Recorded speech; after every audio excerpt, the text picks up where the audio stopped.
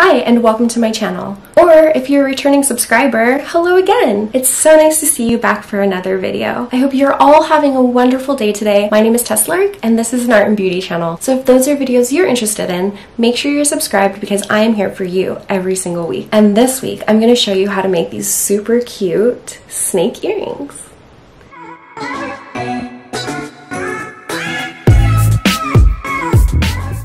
So we are sliding into spooky season. It is one of my favorite times of the year and I'm getting very, very excited. I actually ordered another special little holiday themed item to play around with that I cannot wait to show you guys. I think you're really gonna like it. But I'm so excited to show you how to make these snake earrings. I think that they're very, very cute. They're lightweight and comfortable in your ears. It's a pretty straightforward project and you can really make it your own. Use different pigments, use different combinations of pigments. You could put like little tiny pressed flowers in there if you wanted. You could really make this project your own and it is very fun to do. So without further ado, let's just hop right into this video and let's get crafting. Oh, but really quickly, I do want to go ahead and give a shout out to my Etsy store, which is fragilebeings.com.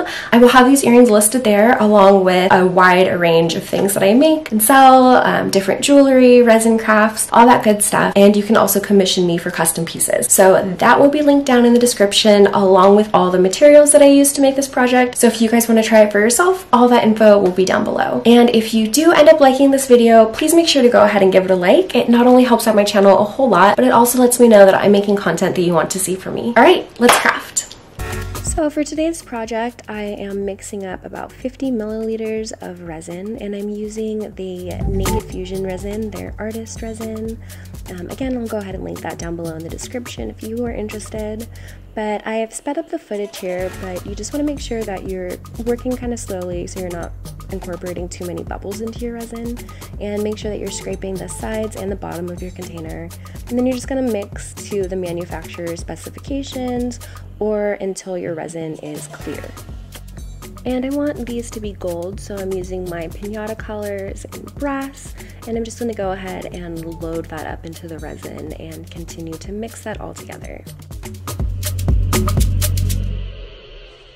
And then once the pigment is thoroughly mixed in there, I like to let my resin sit for about five minutes just to allow some of the bubbles to come up to the surface and that makes it really easy for me to pop them with my heat gun.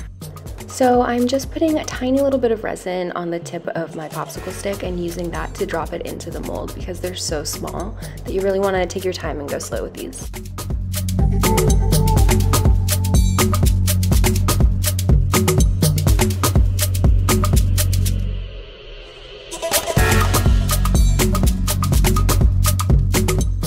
And then for the skinniest part of their tails, I'm just using a little bit of a clipping of a wire, but you could also use something like a toothpick just to make sure that I'm not getting the resin on the outside of the molds. And then once I have the mold completely filled in, I'll go back and just add a little bit more resin in just to try to get them to start doming a little bit so they're not as flat.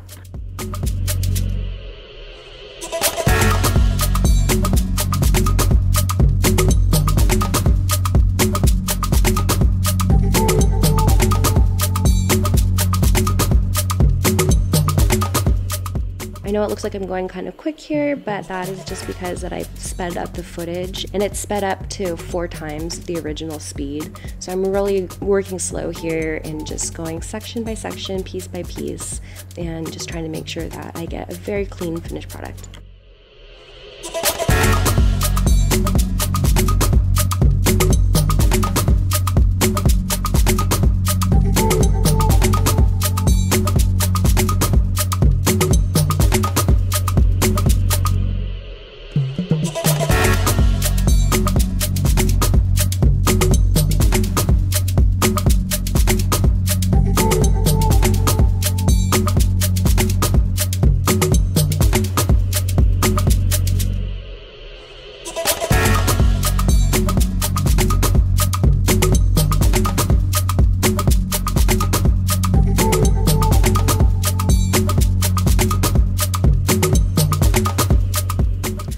Go ahead and hit them with my heat gun once more on the higher setting just to make sure that I've popped any bubbles that might have formed like while I was pouring them.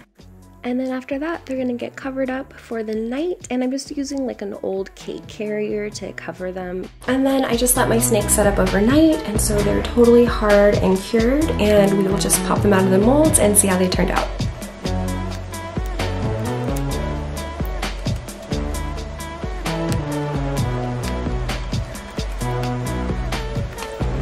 Don't know if you can really see on camera, but half of these molds have little scale designs on them, which are really cute, and then the other half are smooth. But I think that they're turning out really nice.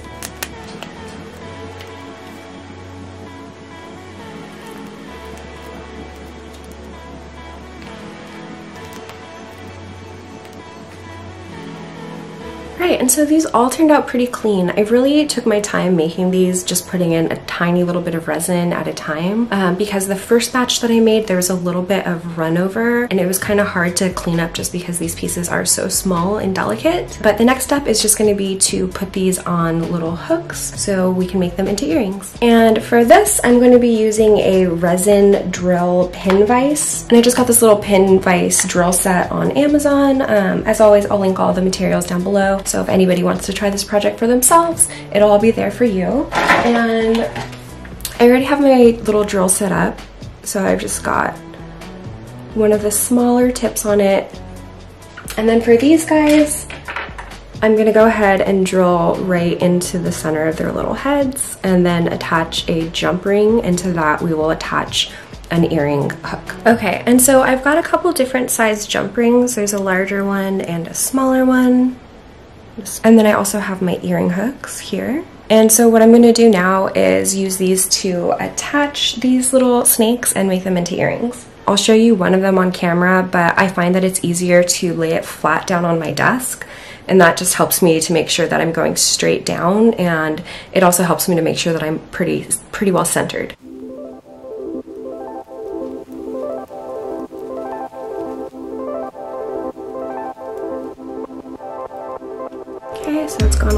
Through. And now I'm gonna go ahead and take that out.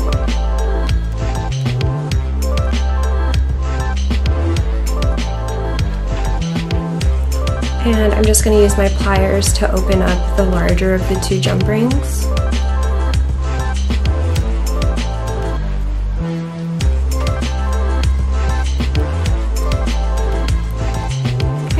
That we have that piece on, we can go ahead and attach it to an earring hook. Taking one of my smaller jump rings and opening that up. And then I will connect that to my jewelry or my earring hook. And then that gets connected onto the snake.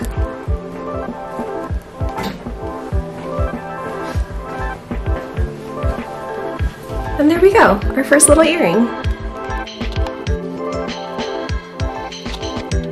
So then I'm just gonna go ahead and follow that same process and finish up the other earrings.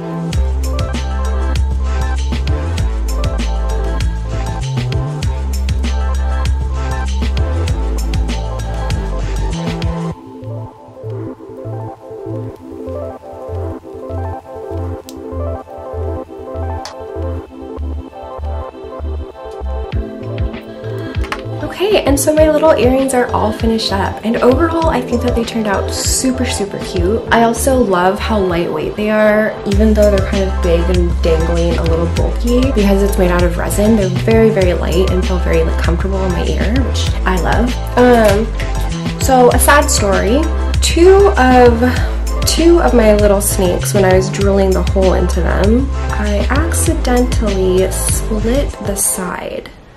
So I don't know if you can really see that. Let me see. So if you can see here how it's cracked. Yeah, so I clearly was drilling too close to the side on this one or I didn't drill in completely straight. And that happened to two of my snakes and unfortunately they were both from different pairs. So I lost two out of the four pairs from this batch. But I'm also fairly new to this technique and this project. So I think that with practice, it's gonna be easier to get the little hole right in there the first time. And also because these only take like a very small amount of resin, I'm not too stressed out about it. Like if it if it had taken, you know, 300 milliliters of resin only to fail, then that would be kind of a bigger bummer just because the resin is not cheap. But these just take such a little bit that I'm not too worried and I will definitely be making more of these. Overall, I think that this project is super adorable. I love these earrings for fall and I will definitely be listing them in my Etsy along with making different colors. I've got some other pigment powders that I want to try in these, like this one that's kind of like blue and purple and I think that that would be really really pretty. Um, if you want to see my process video on those let me know and I will probably film it for you guys. Another thing that another thought that I just had about the holes not being completely straight and some of them splitting which resulted in me losing pairs of earrings. I also think that probably investing in an electric drill will make that sort of thing less likely because it's going to be a faster process instead of kind of like twisting and like having the potential to move around. I think it'll be a lot smoother and hopefully then I will not lose any pieces in the future. Anyway, thank you so much for watching this video all the way to the end. It means a whole lot to me. And if you did watch this video all the way to the end, would you go ahead and leave me a snake emoji in the comments? Anyway, I appreciate you guys. I love you guys and I will see you in the next one. Bye. Hi and welcome to my channel. Or if you're a retired, to another video, it is